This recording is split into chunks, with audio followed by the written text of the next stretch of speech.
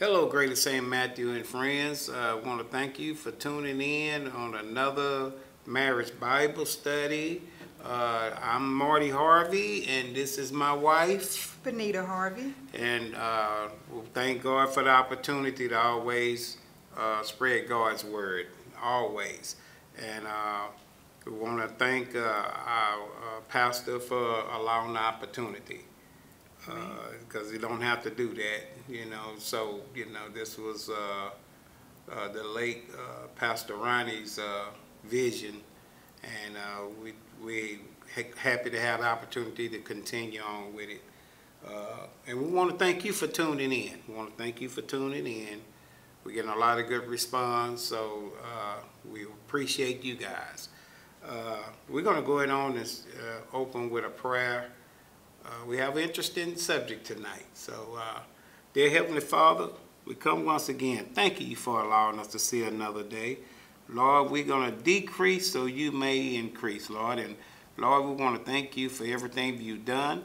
And not only that, Lord, we want to thank you for letting, allowing us to do what we can do for you, is spreading your word, spreading the gospel, Lord, and being faithful and Lord, we want to thank you for everything you've done. Bless this marriage Bible study on tonight.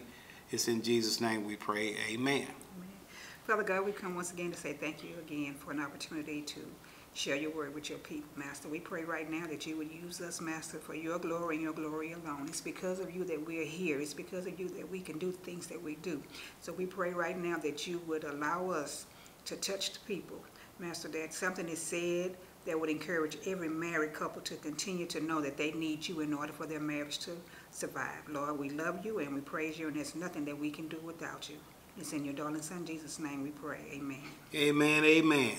So you've heard the, the two of us uh, uh, open with a prayer, and the reason why we did it that way tonight is because of what, Benita? We're going to talk about how important it is to have prayer in your marriage how important it is for us to pray together in the marriage. And uh, uh, you have our base scripture that we're coming off of? Yes.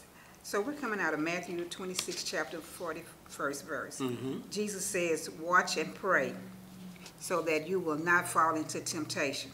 The spirit is willing, but the flesh is weak. Okay.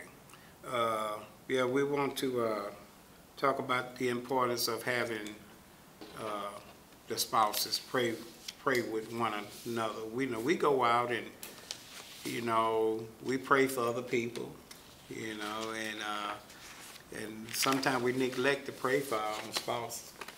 Exactly. You know, you know, we pray for our spouses, but to sit there and pray with our spouses, just like we go visit the sick, you know, anybody call you and ask, can you pray for me? We'll do that with no problems. And and those those the, the little small things like that uh, not you know sitting there praying with your spouse you know we should we should really pray with our spouse before we get our day started to be yeah. honest with you we I should agree. we should we should uh, anything you want to say on that Benita? No, I, I agree. We yeah. should open up when we get up in the morning before I leave the house and you leave the house. We need to cover each other right. pray together. Right, right, right. So, uh, like I said, you know, we, we it's easy for us to pray for someone else, and and we got the one that's right there with us that we don't sit up and and pray with. Right. You know, we, we you know you pray for them. We, we pray for one another, but we don't sit there and pray together all the time. We do it here and there, but right. we like to say, y'all, we know we keep it real here. So. Uh, and uh, so for those that do that, hey, it's, it's a wonderful thing. Keep doing what you're doing. For those of us that don't, we need to get on that train. we need to get on that train, get to get going in the same direction. You know, so, uh, but then let's, what's our first topic for the night on First that? topic, we're going to talk about how praying together can bring unity into the marriage. Yeah, see, yeah, bring unity. And you know, we always talk about being intimate. Being intimate. Boy, this is one way to be intimate. Right. You know, we sit here and we get together and pray together, and it, it doesn't do nothing but, but make us closer. The Lord blesses us when we we give Him praise and we we start our day with Him together. You know, He He put marriage together, so everything that we do in our marriage should be towards Him. You know, For his praise glory. for His glory. Yeah, absolutely. Thank you. I needed that. I was You're stuck there. yeah, it's for His glory. So uh, I, uh, I, I, uh, I, I, it made me think about it once we, you know, start talking about it. You know, say, yeah, this this is a good thing. What what do you have? Talk about it a little bit. So when we pray together, like I said, it brings unity, but God wants us to pray together because it actually helps us to be on one accord and to block the devil, you know. hmm Um, remember the scripture says when you're getting married, you know, this first thing they say, well, God has joined together, let no man put asunder. Right. So if we just stay focused on God and we're coming together and praying on one accord, we can definitely keep God as the center of our marriage. Right, right, right. Yeah, absolutely, absolutely. Uh, and, and, and I know some people say, well, man, what if the, uh, other one don't want to do it? And I'm pretty sure that happens. So, hey, you just keep trying, but you keep praying. Yes, exactly. You keep praying. You keep praying. And especially men. Men, especially us. We, we have to set that example. Right. We're held responsible for setting that example. God put the man to, to lead, but we have to lead by example. So, uh, men, let's let's get on our game. You know, we, we have to get on our game. But if, if you're in a marriage and uh, the wife is the one that's, that has a relationship and, and the the husband is not there yet spiritually, then the wife should continue to take it to God in prayer, hmm you know, and continue to pray before him and pray for him so that he'll eventually get there. But it has to be through God. Right, right. And we've seen it happen. Yeah. We, we've seen it happen. We've watched it happen. That the, the, the man wasn't there yet, Right. and the wife continued to pray. She didn't hit him over the head. Yeah. She didn't take the Bible and beat him over the head like we seen on TV. Mm. She just kept praying. She Kept praying Kept praying kept, kept living a Christ life Yeah. before him. before him, and, and and he changed. And when he when he when he caught fire, he caught fire. Right. Yeah, so, yeah, so, yeah, I mean, it, it's just one of those things you have to work out. But the, the ultimate goal is to sit down and start praying together. Right. Okay, what's our next one? I was gonna, Oh, go ahead. close out on that, I was just gonna remind them what Colossians three and fourteen says, and overall, these virtues put on love, which binds them all together in perfect unity. Mm-hmm. That's good. Yeah, that's real good. You have anything else? No, that's it. Well, let's move on to the next one. Okay, the next one talks about, uh, how praying together can, uh, connect you spiritually. Mm-hmm. Yeah, you see, you have that bond. Yeah, that bond. You have that bond. Yeah, being connected spiritually, you know, we're on one accord now. You know, we we we uh, set an example for the, the children. You know, they see us on one accord, and then what they are what they're gonna eventually do. They're gonna catch on fire and start praying also. that's that's right. Just like our our grandchildren. Uh, there's a thing we do every year with them. We we uh, go on like they call them field trips, but we get them and we do things with them. And the first day of school, what is it they want? They were looking for you to pray. They be looking for that prayer. Mm-hmm. They they they will not. Hey, Papa, you're supposed to pray. Mm-hmm. So now what we're going to do? We're going to have Papa and Nene pray with them. So you know they see us both doing it, and just to carry on in their lives as their spiritual lives as they keep moving forward and everything like that Because they know that prayer is the key. they know that prayer is the key. And we do, we, y'all, we do have some uh, praying grandchildren. I love it. I, I really love it. I love it. I love it. I love it. You just had a prayer request today, right? Yeah, yeah. So, so I love it. Uh, I love that they are in, interesting in, in, interested in learning God's word and everything, from the smallest one up to the oldest one. So that's a one. It's a beautiful thing. It's a beautiful thing, and I love it. Uh, and, and and our children watched us, and so now they're instilling in their children. And you know they're still watching us. Their children are watching us as well. Exactly. Yeah. So, uh, anything else you want on that Yeah, one? so in praying together, uh, you know, and, and watching your spiritual walk, as I pray for you and you pray for me, it allows each of us to know where we are spiritually Mhm. and how we're growing in Christ. Mhm.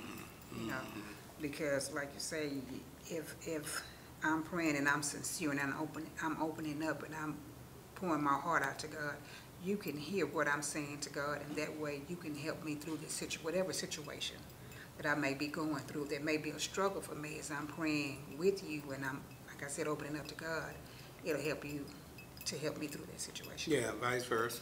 Vice versa. Yeah. Yeah. Absolutely. Absolutely. Because, you know, we, we often have different conversations about life, everyday life, Mhm. you know. But when you can really sit down and, and just be open with your spouse and open in prayer and let them know where you're weak, let them know where your strength lies, it really, really helps the marriage. Mhm. Yeah, absolutely. Absolutely. Okay, we done with that one? Yeah. Oh, yeah. All right, then, let's keep moving. Okay, we're gonna talk about how prayer builds camaraderie. Right? Camaraderie? Okay. Camaraderie, yes. Mm-hmm. So spending time together, like we say, is a message. Then we, we're on one accord, you know. It also helps to bring about a bond that, you know, we'll talk about some things that we wouldn't normally feel comfortable in talking about when we're going through prayer, Mm-hmm. you know. Some things I may not want to open up and share, but when I'm in the spirit, then God will lead me where I'm comfortable enough to open up and share things. And as I'm talking to Him, you'll receive what I'm saying to God. Yeah, that's just like when I was playing ball uh, in the fire department, uh, just hanging out with the boys. You create that camaraderie with the with with this. Everybody's on the same page. Everybody on one accord.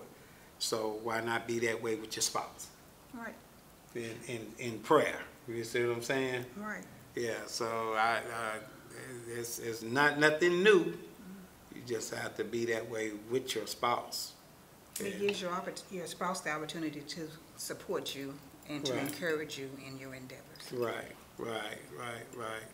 And we've been real good at, I think we have, uh, there's always room for improvement. No one's perfect. All right, But uh, we've been pretty good at encouraging one another in, in the different things that come up in our life, you know, and, and uh, praying for one another, different things. Because, like I said, everything don't go, everything not peaches and cream, no, you know. So uh, when you have that, that, that someone you can go to, to rally behind you, get behind you, push you, and get you through, you know, along with God Yeah. along with prayer, you And- know.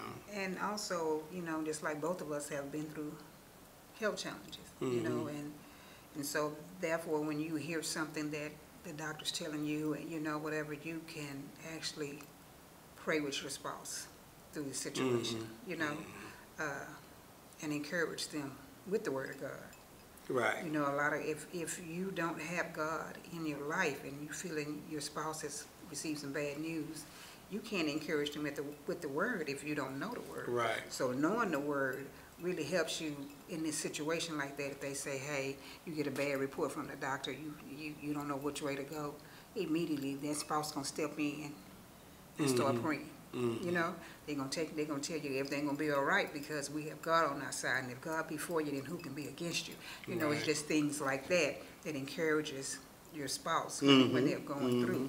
And so to be, to build camaraderie, then you that's one way of doing it.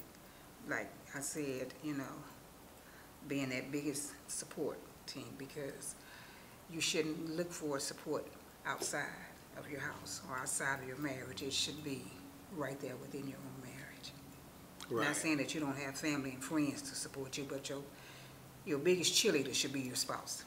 right. I remember when, uh, uh, the great late, uh, Pastor Emeritus, uh, he, uh, he used to say, uh, was, uh, the late, the great late Sister Booker used to be out in the audience, he preaching. And he said it was like Sister Booker was out there saying sick him, cause she was his biggest His cheerleader. biggest cheerleader, She right. was his biggest cheerleader out Right. there, and he, it was like, he Right. said it's like she's sitting up there saying sick him, you know. Because you, you always want your spouse to be in your corner. Right, right, right. He said if it wasn't no other voice, he, he, you know, he, he wanted to hear her voice. Knew that she was in his corner, supporting him. Yeah, it gives you, Yeah. str- it gives you strength Right, Yeah. right. and, and, and the courage to just run on and do you know, to see what the end's gonna be, right? Right, right, right. Yeah, that's that was I, I when he said that that was so funny to me, boy. Mm-hmm.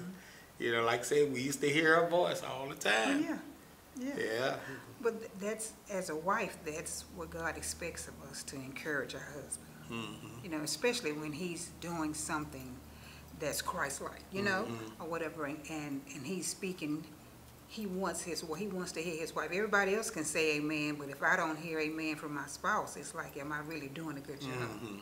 You know? Yeah. Yeah, absolutely. Anything else on it? No, I think that's, that's good. You sure? Yeah, All right, well, let's move. okay. And we're gonna talk about how praying together can bring great results. You know, Hmm.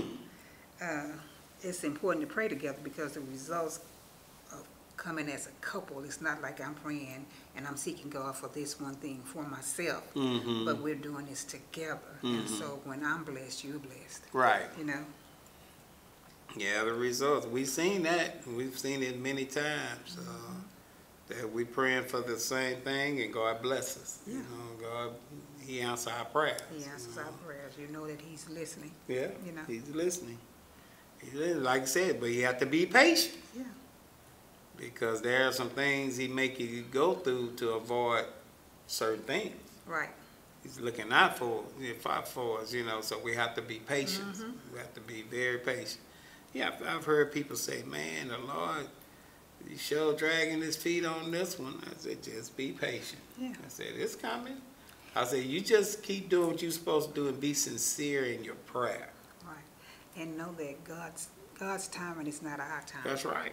You know, That's we're right. on, we're on a different time clock than what God is. Mhm. He's gonna move just in the nick of time, Mhm. when he see fit, you know. Sometime, you know, like Pastor Booker would say this, sometimes we're not ready to receive the blessing Right, yet. So he has to prepare our hearts and mind in order to receive the blessing. Right, So it's not moving when you want to, it's gonna be in his timing and when he knows you're ready to receive it. right, right. Absolutely, absolutely, absolutely.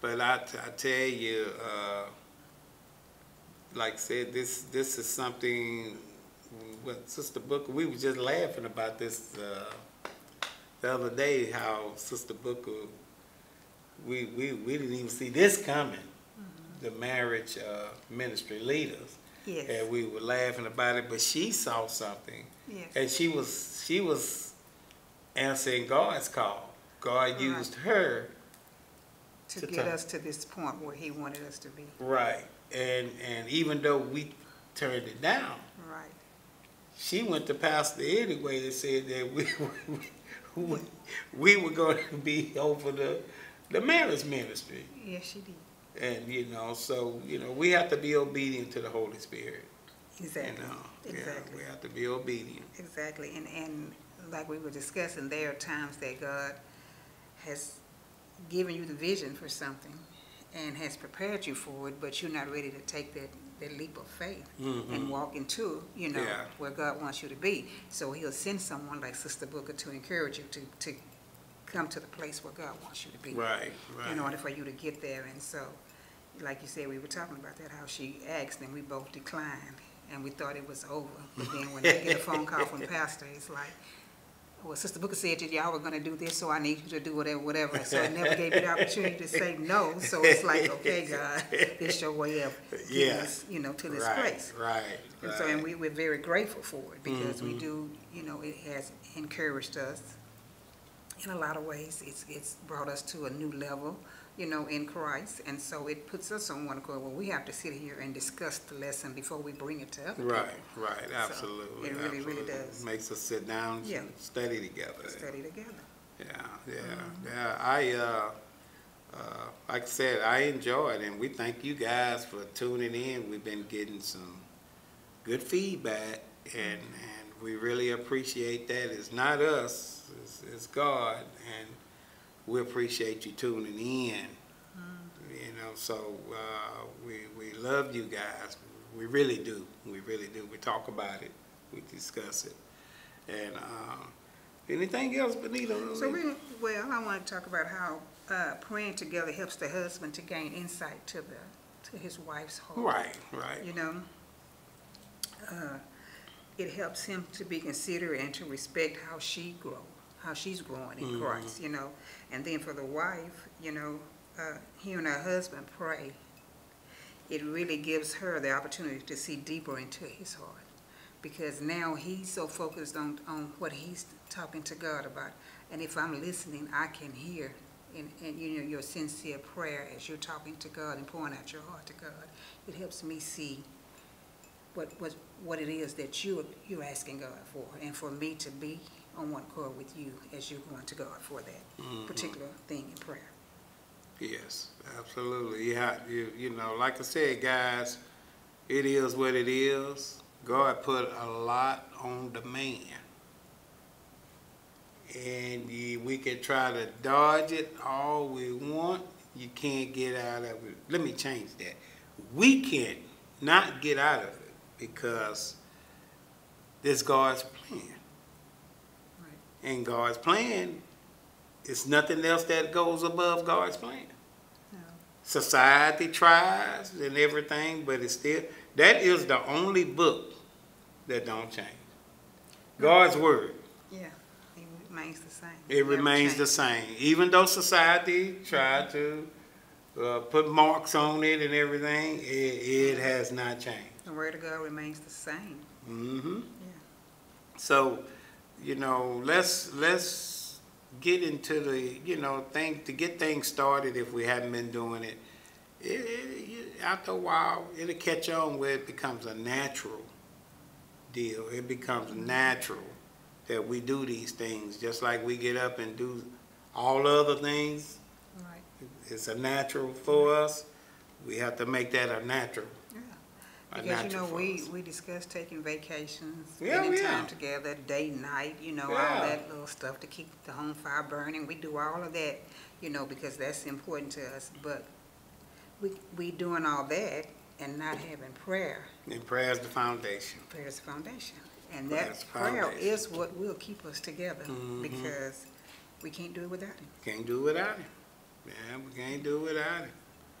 Cannot do without him. No, What that song say? Without God? I would be nothing. And Yeah, so, and, and it's for us to make sure that what we say and what we do, that people realize it's coming from the Word of God. right, It's not what I think, what you think, it's what the Word of God says. right, You know, people say all the time, well, I, there's no manual on marriage, and you said this before, but the Word of God is your manual that's your manual. It's laid, the foundation is laid in the Word of God, you just have to read it. Yep, And if you read it, you know, then you can say, so if I go to my spouse and say, hey, I need you to do so and so and so and so, whatever, whatever. But if I can tell you that the word of God says these are the things that you're responsible for doing, mm-hmm, or if you come to me and tell me that, hey, we're gonna do it this way, whatever, whatever, because this is what God is saying, well then with me being in connection with the, with God and the word of God, I can follow you because I know you're coming from the word of God. mm-hmm, So it's easy to follow him, follow your spouse, when you know that he's basing everything on the word of God. right, absolutely, absolutely. So, you know, you, you, you, you have to make sure you're yoked up with the, you know, and, and I'm saying even if, if you're not yoked up, you can get there. Yeah. But it's gonna take some work. It takes some, It's, and even when the ones that's yoked up, mm-hmm. it takes some work. yeah, yeah, because you have to. Full-time you have job. to Surrender, and sometimes we're not always willing to surrender, and it's not to your spouse, but unto God. Unto God. Because Yeah. if you, if you surrender and you submit unto God, then it's easier to submit to your spouse. Yeah, yeah, yeah. Like you said, it was somebody that said, how can you be, uh, how can you submit to your boss at work? Yeah. Yeah, And I, I did say that because I, I just hear so many women's, so many women say all the time, it's about, you know, their husband, you know, he want me to do this and he want me to do that, you know, I'm not gonna jump and do this, I'm not gonna jump and do that. But then if your boss asks you to do something, you jumping and you're doing it. And I, my question is, well, why? Well, that's because my boss, he's my boss, and he's the one responsible for my paycheck. I say, but God said that he made you one with your spouse, not with your boss. So if he made you one with your spouse, seems like you would move quicker for your spouse than you would for your boss. mhm, Because when you move quicker for your spouse, then you're lining up with the word of God and you're doing what God has called you to do. right, right. So, with that said, Benita, I, I, that was a good lesson, you know. We don't, they don't have to be all night. No, You don't have to be all night. And like I said, hey, we appreciate you guys. Uh, uh, uh, uh, Pastor GB3. Hey, uh, we appreciate you. Keep bringing that word. Uh, we got Brother Kenneth Basil, Educational Director. Wonderful job. We got Deacon Garland, Sister Vera Green. Marriage counselors at the church, Greater St. Matthew. Phone number 713-734-5670. That's 713-734-5670 if you need to talk to anyone. And uh, like I said, we love you guys. We want to thank Reverend Eric and Sister Christy Ozan. And we want to thank Brother Josh. all Brother right, Josh Josh. Book, uh, taking care of everything, he, he and his crew over Yeah. here at the GSM studio. That's a great job. yeah, yeah. So, hey, we're gonna uh, have Benita close us out with a prayer, and uh, we just say we, we just want to say we can't say it enough. We love you guys. We appreciate you. Nita, you want to say anything? Just want to encourage everyone to remember that prayer is the key. Mm-hmm. No matter what you're going through, no matter what you've been through, just remember that God, through you can do all things through Christ who strengthens you. Even when you don't want to do the right thing, if you take it to God in prayer, the Holy Spirit will direct your path. Amen. Amen. So, Benita, want to go and close us out? Sure. Father God, we come against to say thank you for the opportunity to share your word. We pray that something was said that will help someone. Let them know that, Master, you are a God that loves each of us, Master. You are a God that has gave your gave your son so that we might have a right to the tree of life. And Master, we thank you for that, Master. We thank you that you loved us enough, even in spite of our disobedience, Master. You keep on loving us, you keep on blessing us, and you keep on encouraging us to know that you are right there standing by. You telling us, you tell us all the time in your word that we can cast our cares on you because you care for us. So, Master, we come right now tonight saying, Master, whatever it is that what someone's going through, any married couple that's about to mm-hmm. throw in the towel, we pray right now mm-hmm. that they would just look toward you and allow you to direct their path and to mm-hmm. heal their hurt, Lord. We love you and we praise you, and there's nothing that we will ever try to do without you. And in your darling son Jesus' name we pray, amen. All right. Good night. Good night. Good night.